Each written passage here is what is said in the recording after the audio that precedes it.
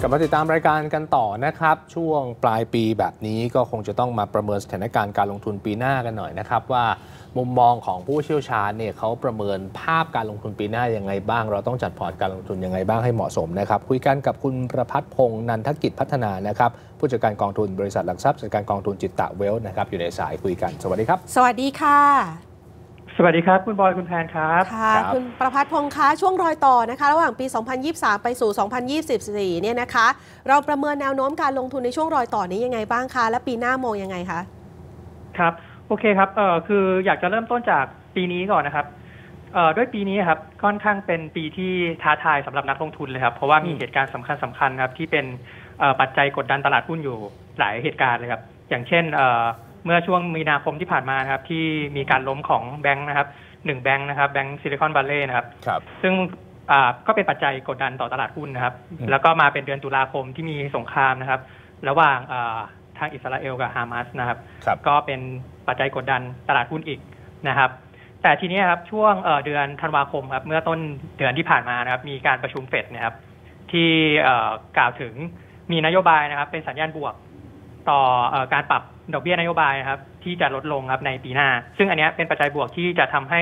ตลาดหุ้นนะครับ ในปีหน้ามีความน่าสนใจครับมากยิ่งขึ้นนะครับ อืมครับ ปีนี้เอ่อทีเนี้เนี่ยยถ้าดูกันที่ภูมิภาคนะครับ หุ้นอเมริกาขึ้นเยอะหุ้นเทคขึ้นเยอะ แล้วปีหน้าเรามองว่าเงินเนี่ยจะไปลงที่ไหนครับ เป็น emerging market develop market หรือว่าตลาดไหนน่าสนใจครับอ่าครับ นอกจากตลาดหุ้นสหรัฐอเมริกาแล้วเนี่ยครับ คือเรามองว่านอกจากตลาดหุ้นสหรัฐอเมริกาเนี่ยยังมีตลาด ที่ตรงกับหลักการลงทุนของจิตตาเวลอยู่นะครับ ก็คือการเลือกเอ่อตลาดที่ดีนะครับ ในราคาที่เหมาะสมหรือถูกครับไปเลยนะครับครับ ซึ่งตลาดที่เราให้ความสนใจเนี่ยก็คือจะเป็นตลาดหุ้นจีนครับอืมซึ่งล่าสุดตัวเลขที่ผมได้มานะครับ PE เนี่ยอยู่ที่ไม่ถึง10เท่าครับกับศักยภาพของประเทศฮะที่มีการเติบโตนะครับ แล้วก็มีความสามารถในการแข่งขันครับ ครับ ค่ะ เราแนะนำการลงทุนยังไงบ้างอะคะสำหรับความน่าสนใจในตลาดเหล่านี้เขามีธีมอะไรที่น่าสนใจในการลงทุนบ้างคะ เอ่อโอเคครับ คือนอกจากประเทศจีนแล้วนะครับธีมที่น่าสนใจในการลงทุนอีกธีมหนึ่งก็จะเป็นแบบประเทศเวียดนามด้วยอืมนะครับ ก็คือเอ่อตัวจีนเนี่ย อันเนี้ยมันเด่นชัดอยู่แล้ว ในเรื่องของศักยภาพในการเติบโตของเขาใช่ไหมครับส่วนตัวเวียดนามเนี่ยคือตอนเนี้ยอาจจะในมุมมองของตลาดโลกครับ ยังอาจจะมองว่าเป็นตลาดเกิดใหม่หรือตลาดเล็กอยู่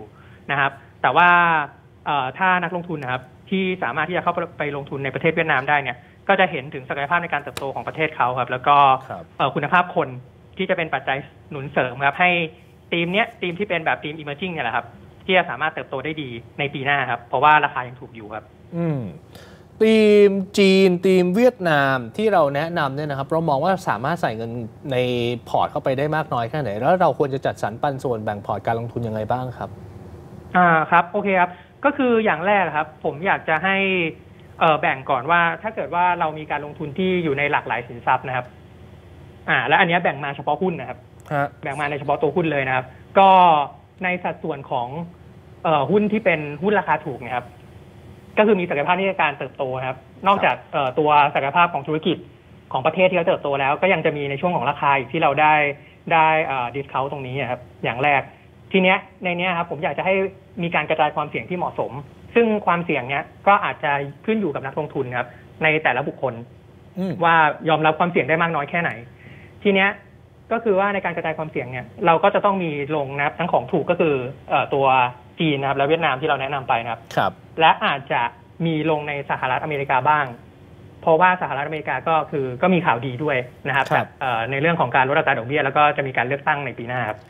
ค่ะอืมหลาย ๆ คนบอกว่าครับปีนี้เนี่ยผ่านความผันผวนมาค่อนข้างเยอะนะคะ ปีหน้าเนี่ยเรามีคำแนะนำในการที่จะวางแผนกลยุทธ์การลงทุน ในการเข้าและออกสินทรัพย์ต่าง ๆ ยังไงบ้างอะคะครับ